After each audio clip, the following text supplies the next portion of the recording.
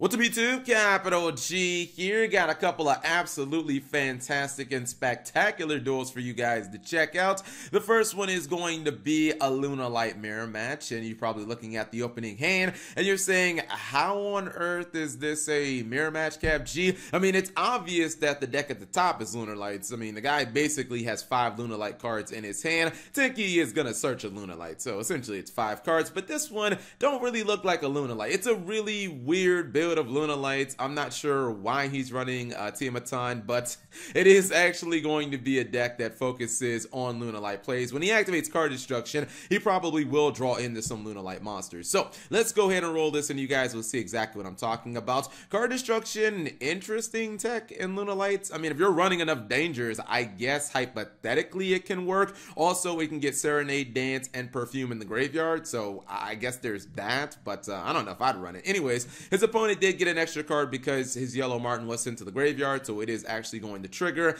I guess right now card destruction is like a neg one for the player who activated it. It's fine. He's going to be able to recover most of his resources through um, the advantage of Kaleido Chick. Also gets yellow Marten in the graveyard by way of danger. He is playing some um, He's playing some Wing Beast plays in here. You guys see the the Force Strix that get some Zephyros the Elite. He did not normal summon the entire time. So obviously Zephyros the Elite can kind of be the play there. Goes into Rusty Bardiche. Now it is my opinion if you're playing double L's, right? I feel like if you're going first, since Lunalights naturally want to go second, I kind of feel like you need to be able to drop number 41 Bagooska. That should be your main play, your main way of defending yourself. I guess you could go for Evil Swarm. Um, um, Nightmare, the one that flips monsters face down. Like that's an option, I guess. Anyways, he's going to continue on, and uh, he goes for Time Thief Redoer. He's going to actually blow up his own copy of Tiger, which actually is going to trigger it to summon a monster. Okay, that was not a bad play at all.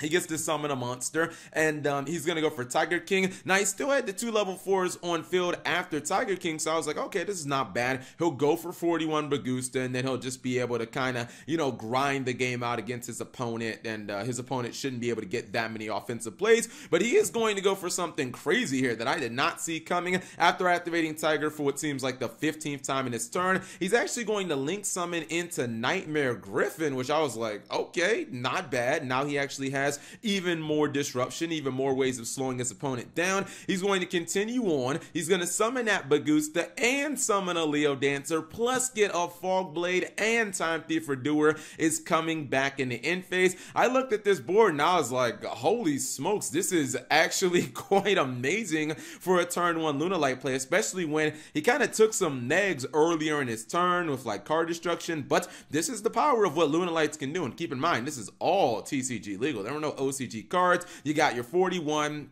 you got Leo Dancer chilling in defense mode. You still have Time Thief Redoer. You have your Gryphon, and then you also have a Phantom Knight Fogblade. I was like, yo, that's pretty legitimate. But his opponent gets the answer. I saw that and I almost broke into tears for this player at the bottom because I thought this is uh this is rest in pepperonis. This impermanence is going to almost certainly negate your Bagooska, which it does, and now he can actually play he can play Yu-Gi-Oh! now. And um, you know, Lunalights, uh, they can break this board fairly easily because they can summon Leo Dancer as well. He is going to go with Lunalight Fusion. Even if the Fog Blade was going to be a problem, uh, he could have just simply used the Fighting Daruma. He could have just baited out the Fog Blade by attempting to pop his Tinky and attempting to pop the Fog Blade. So the Fog Blade was never going to be like a legitimate defense in this situation. I mean, against Leo Dancer, you can't target her. So what's that going to do? And luckily, he still has the Wolf, which he added back to his hand. So he can go a double Leo Dancer. Now he's banished Kaleido Chick. He can't activate anything during the battle phase. Attacks in the Leo Dancer, nukes his opponent's entire field. And then each Leo Dancer can just, you know, do massive amounts of damage as they're both sitting on 3600 600 attack, and obviously they can attack twice. Plus, he has this guy. He's um what? Uh, he's 1600 attack because yeah, he's getting a Tinky gain as well. But that was a pretty incredible. That was a, a, pretty incredible duel. I mean, we had an an incredibly stellar like turn one defense, and it was broken by the top decked impermanence. I had, I mean, that was a really good Lunalight turn one. Like it was really strong. Next duel.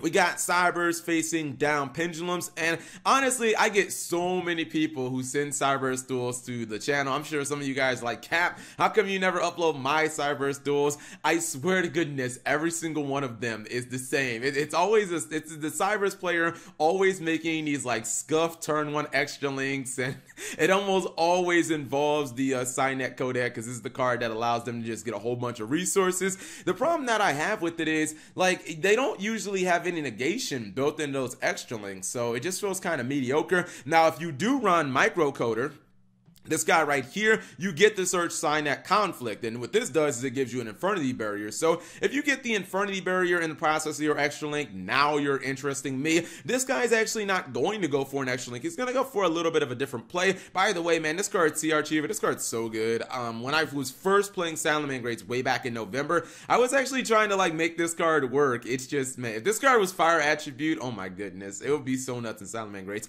Anyways, he is going to discard his Cynet conflict for now. Don't worry, he will get it back later in the turn, but he's actually going to go a little different when he's going for his extra deck plays. What he's doing is, I don't know if you guys noticed, he is going for a lot of different mechanics. We see a synchro summon. I think we're going to see some Xyz summoning as well. We see an Xyz monster. He's going to add that Cynet conflict right back to his hand. And he's going for these different mechanics, including rituals and fusions and all that good stuff. Clock Spartoi. There's a ritual summon. There's a fusion summon. He's doing all this so that he can go into Firewall Dark Fluid Dragon. This guy right here. Load your graveyard up with a whole bunch of different mechanics, and now this guy can get an insane amount of counters. It's actually just checking to see how many different mechanics are in the graveyard, and turns out he has four of them. So this guy's attack actually is going to go up four, or excuse me, 8,000 in the battle phase. Like this is now a one card OTK if he was going to attack his opponent directly. Keep in mind, he still does have that conflict, which is an Infernity Barrier, and this guy can negate monster effects as well. Let's see what his opponent is going to throw at him. It's not exactly the greatest defensive board ever, but at least it does have some, like it, it has some dis, disruptive, uh, you know, potential there. So he's going to pendulum summon.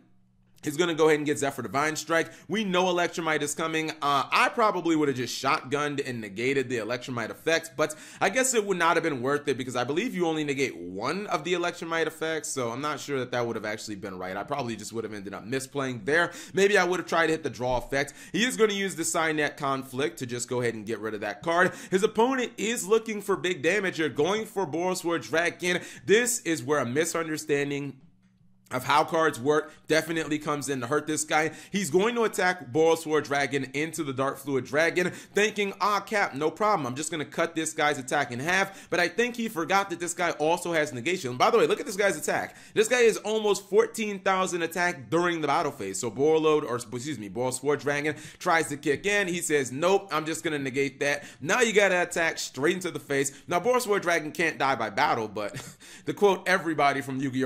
V, you still take the damage. I mean, he took 7,500 damage in one attack, and it was his attack, by the way. So I don't really see any way that this guy is going to survive. All he has to do is just attack with uh, Dark Fluid Dragon. I think when Dark Fluid Dragon negated Borrelsword's effect, that was just one of those moments where it's like mistakes have been made. He's going to scoop it up at this point. He knows that he's not going to be uh, survive this, even if his opponent wasn't able to get three more monsters on the field. All he simply has to do is attack with Dark Fluid Dragon. Dark Fluid Dragon would go up 6,000 attack, and he's not going to be able to survive that. Even if Borrelsword Dragon tries to activate the effect, he can just... Actually, no. Borrelsword is only when it attacks, if I'm not mistaken. Yeah, when this card, um, the, when this card attacks, so it wouldn't even matter. He could just attack, and he would have 9,500. So yeah, this card, don't sleep on it, you know? I mean, I wish he would have had maybe one more defensive card. It would have made made it a little bit easier because uh, his opponent could have maybe tried to throw something at this, or God forbid if he had a kaiju, that just would have been like,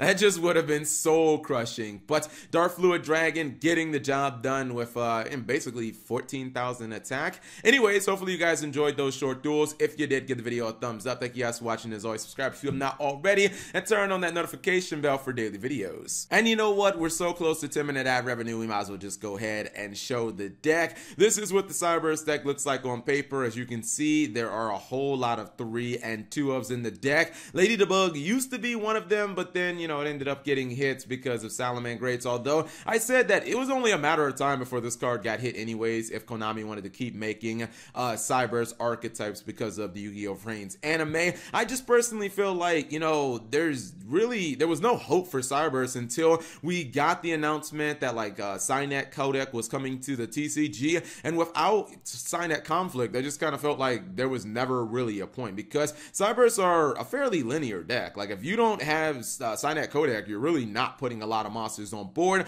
I do like the fact that they do kind of have this one-shot playstyle now with Dark Fluid Dragon. You can summon a lot of different mechanics in your first turn relatively easily, and now you actually like, you know, you have a way of harnessing all of those plays into this one big colossal beater. You guys saw the attack of this monster. It should be able to one-shot just about anything that your opponent is going to throw at you. And so many of these cards like uh, Cynet Fusion and Cynet Ritual, like all of these cards are completely searchable from the deck. So you actually don't want to draw any of them. You essentially just want to search them uh, through your natural combo by using cards like Clock Spartoi and using all these other like link monsters that search these uh, these summoning cards.